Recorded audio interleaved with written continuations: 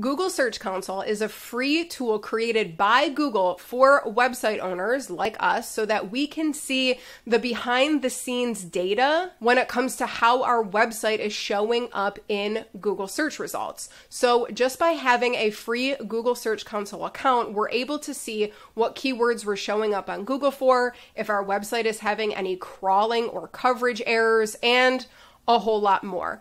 But the issue is that when you first log into Google Search Console, it can look a little overwhelming. So, in this tutorial, I'm going to walk you guys through just like a super beginner friendly version of the dashboard so that you feel more comfortable diving in and looking at your data.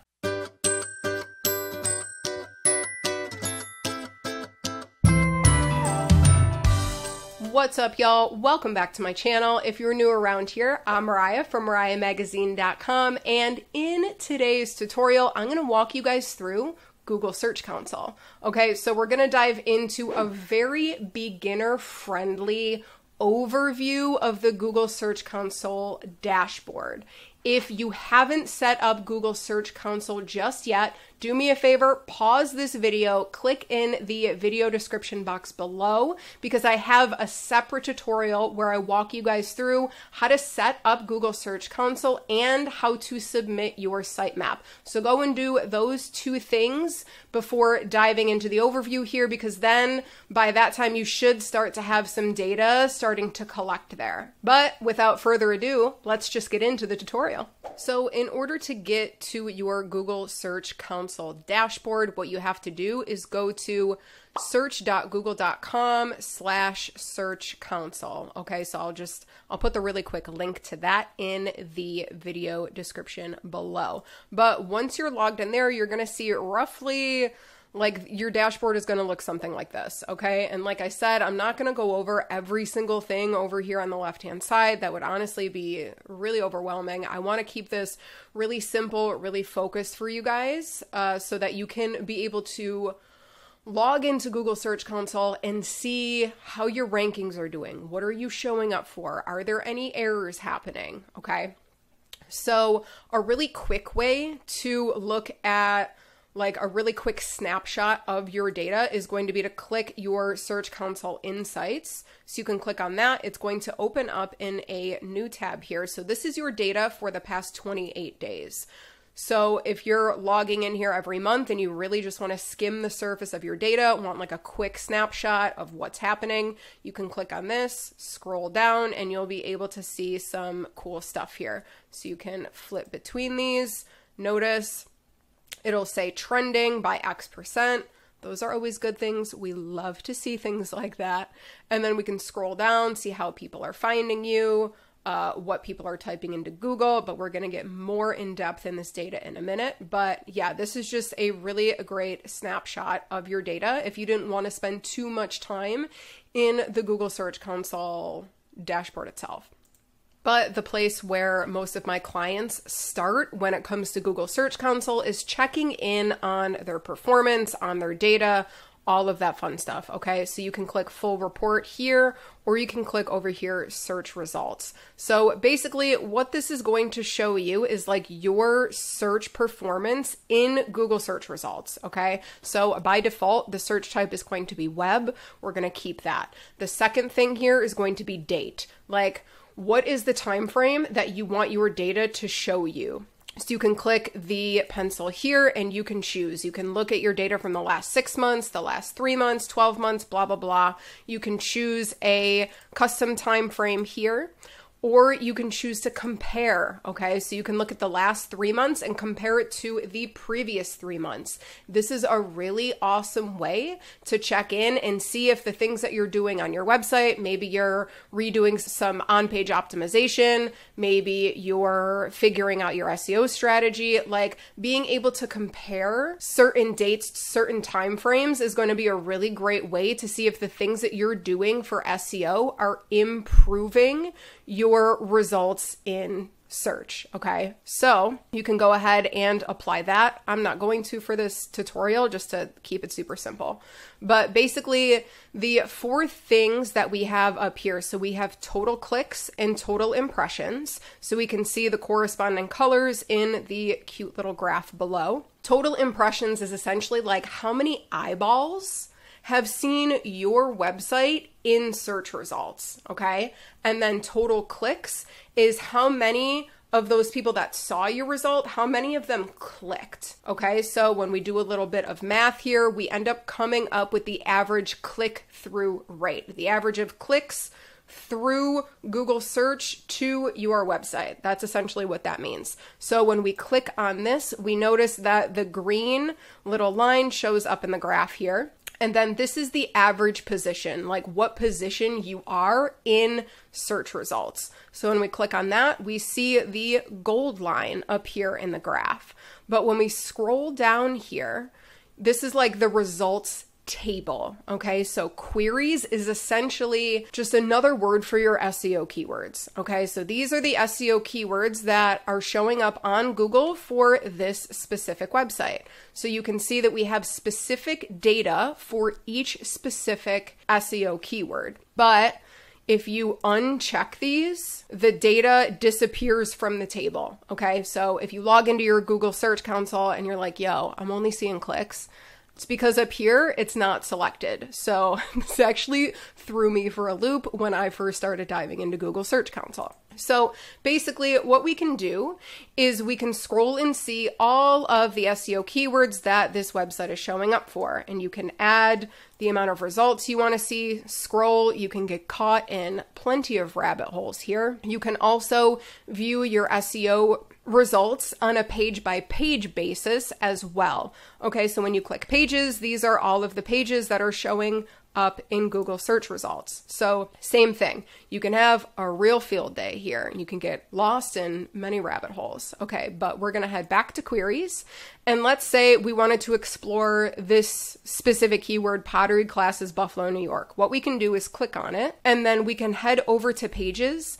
And this is the specific page that is showing up in position four for this keyword. Okay, so this is really, really helpful. And you can also look at it reversed. So I'm to close out of that. So if we want to start with pages and we're like, listen, I want to see what keywords are showing up for this specific page or like what keywords are driving traffic from Google to this specific page, you can go ahead, you can click on it and then head back over to queries. So these are all the SEO keywords that are potentially driving traffic to this specific page. So, as you can see, pottery classes, Buffalo, New York, a lot of things associated with pottery classes were in the top 10 on page one. Okay. And how and why I'm saying that is because typically in search results, there's usually around like 10 results per page. So, if you're seeing numbers that are less than 10, then you might be on page one. Obviously, this depends on context. It's not always true, but it's a decent rule of thumb to go off of. But if we head over here, let's find another one here. Okay, so pottery classes near me for adults, position 13.3. So essentially, for this specific keyword, this page is on page two. So that's just like a really quick overview of that. If you wanted to move up in position for one of these keywords. Like, let's say this specific page, you don't like any of these keywords that you're showing up on page one for. I don't know why you wouldn't, but maybe you don't. Okay. So then you're like, you know what? I actually want to show up on page one for learn pottery near me, just like basically a different variation of this one. So, what you would have to do if you want to increase your position here, maybe go from page three to page one, is that you're gonna have to re optimize that specific page for your new priority keyword. Okay, so basically, you can go to the page itself and you would re optimize this page for the new keyword that you want to increase position for. Okay, but this is kind of a really awful example because near me, you're actually not to optimize. A, like it would never say pottery classes near me. You never write that in your content. It's more location based like this. And then Google's smart enough to know like where the searcher is so that it can connect the dots there. But essentially, if I wanted to move up in rankings for like learn pottery, I would make sure that learn pottery or like reword this so that learn pottery is like in the title and it's in the certain places to optimize this piece of content for that new keyword.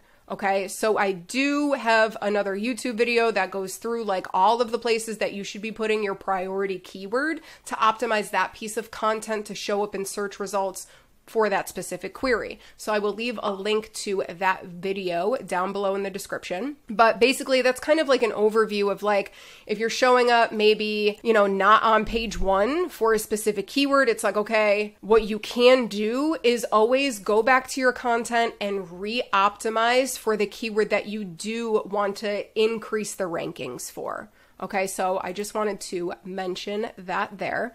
So let me close out of this. And then the other thing here is we can click this filter and you'll be able to filter your data based on all of these aspects here. So clicks, impressions, click through rate, position.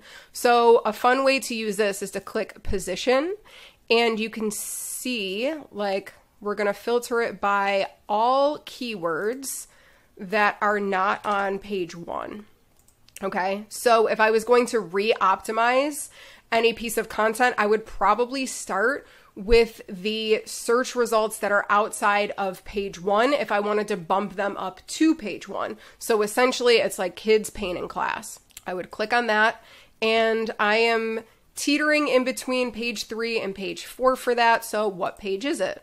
It's this one. So, we're going to go ahead and open it. And basically, what I would do is re optimize this specific page for this specific keyword to see if we can bump up that position here.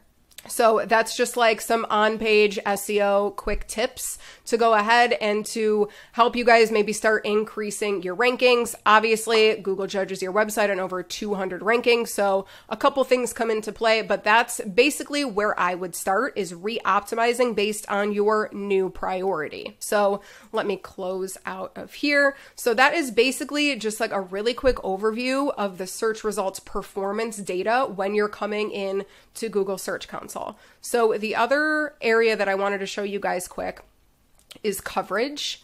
So basically, these are crawling errors. So when the Google bots are going through and they're crawling your website, if they see an error on your website, they're not going to go over to your contact page and be like, yo, Mariah, hey, what's up? You got an error on your website. Like Google's not going to do that. Google is going to show the crawling error in here in Google Search Console. This is another reason why Google Search Console is so beneficial is because we're able to see these errors here. So if you have an error, it will show down here and you'll be able to click the error and get more details about it. You'll be able to see like what page is affected.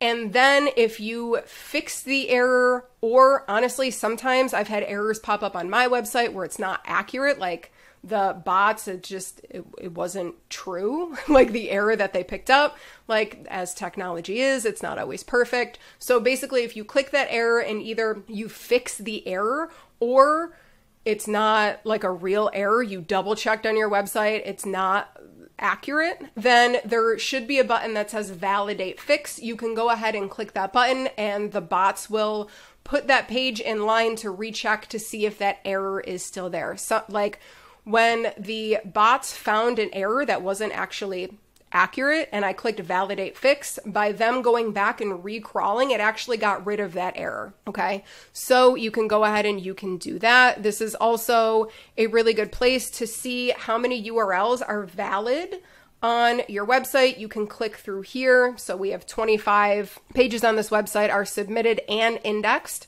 So basically these are in Google's filing cabinet. There's some pages that are indexed and not submitted in the sitemap. Honestly, we can click on these. Yeah, not a big deal. Don't really care about those. Okay, so we're to head back. We're going to click excluded here. So these are pages that are excluded from basically being findable on Google. So basically, don't freak out when you see this because some of the pages, it's like you don't even want them to so, show up in search results anyways. So I have some pages on this website that I actually added the no index tag to it. And one of them is the privacy policy and terms. Like, I don't really care. I don't really want that page showing up in search results. So I just exclude it. So before you freak out about any coverage things or any ex- like any exclusions from your website, from your sitemap, just take a look and use your discernment, use context because not all of them are always as brutal as they sound. Okay. So, one that we do want to pay attention to is not found 404. So, this means that there is a URL on the website that no longer exists. This means that there is like a broken link here. So, we do want to take a look at these. We want to validate it. We want to fix it. Okay. So, Let's head back. I think that's all I want to say about that one. The other section here is sitemaps. So basically what your sitemap is, is like a roadmap overview of all of the content on your website. Having a sitemap makes it really easy for the Googlebots to crawl and to index your site. So we always want to make sure that there is a sitemap submitted here in Google Search Console. I do have a YouTube video that walks you through how to submit your sitemap to Google, so I will leave a link to that in the description below. And then this box here, removals. If there's a page showing up in Google search that you don't want to show up in Google search and you want to temporarily remove it, you can go ahead and request that. There is also some page experience things. I'm not going to dive into that in this one. The other thing that I want to point out is that if you have a penalty with Google, it will show up here under security and manual actions. Okay. And then if you have a security issue that Google finds, it will show up here. And the last really cool tool that I'm going to actually dive into in this tutorial is URL inspection. Okay. So this is really fun because basically what we can do is go to this website, copy a URL, and paste it in here, press enter on your keyboard, and it's going to give you the rundown. Okay, so like, is this URL submitted? Is it indexed in Google? Is it mobile friendly? Like, basically, this is what we want to see. We want to see all check marks here. Okay, basically, this is how you can double check if, like, a blog post, a services page, home page, about page, all of that fun stuff, if that stuff is actually showing up in Google or not. Okay, so this is an easy way to figure that out. Another use for this tool is if you created a new blog post on your website and you didn't want to wait for Google to find it on its own, then what you can do is you can submit the new URL in here.